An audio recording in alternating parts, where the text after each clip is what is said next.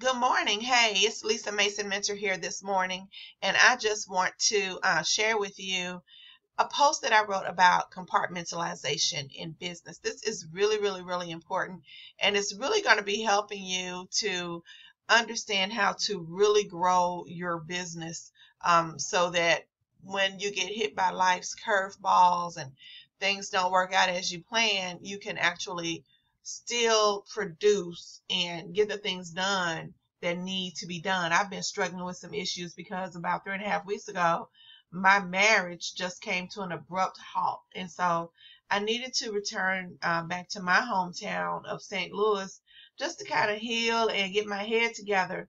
But while I was doing this, you know, it caused a lot of anxiety and a lot of different emotions were welling up. And so I was not as focused on my business as I could have been, as you can imagine.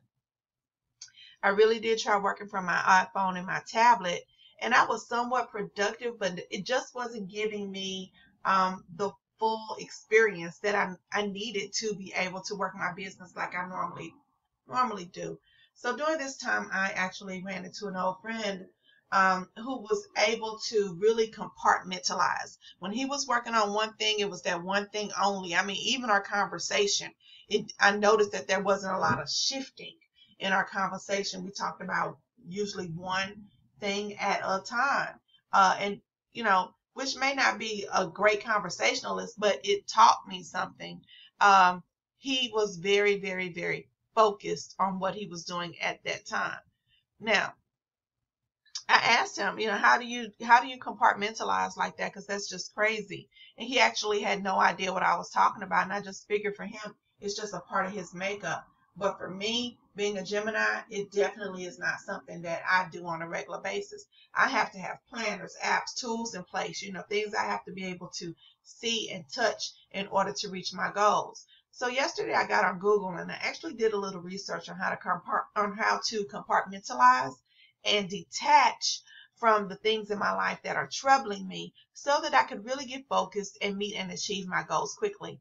So I came across this article written by Ryan Blair, one of the founders of ViSalus. I'm sure you've heard of him.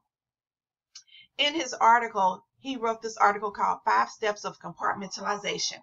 Okay, the secret behind successful entrepreneurs. And he gave five steps on how to compartmentalize. Okay, number one, compartmentalize it. Isolate the issue from all the other challenges you are dealing with. Apply extreme focus on each compartment, but only for a short period of time.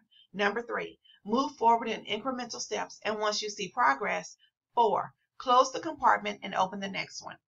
Five, say no to things that don't deserve a compartment. That is really, really helpful.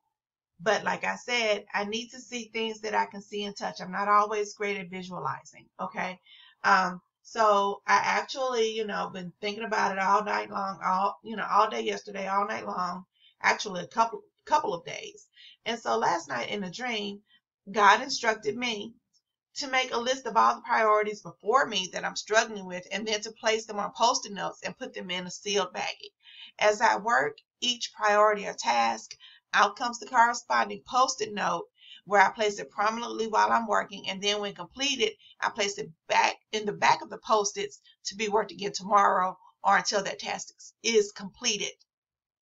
Now I know that sounds very, very simple and primitive and all of that, but it's actually working for me because I've actually got this post done today. So while it's really kind of simple, it's perfect for me right now. So because not all of us are born with organized thought, also known as compartmentalization. Life is going to hit you with some curveballs once in a while.